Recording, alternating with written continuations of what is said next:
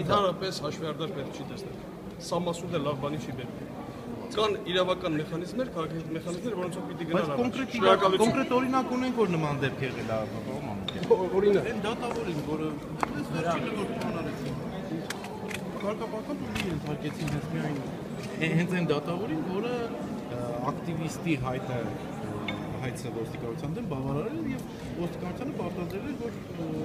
ը, տուգանք վճարի։ դուք Ռոբերտ Սարգսյանի մասին եք ասում։ ազգային չեմ հիշում։ Այ եթե մենք ժամանակ ունենանք առանձին զրուցելու, ես այդ գործի վերաբերյալ շատ երկար պատմություն ձեզ կպատմեմ։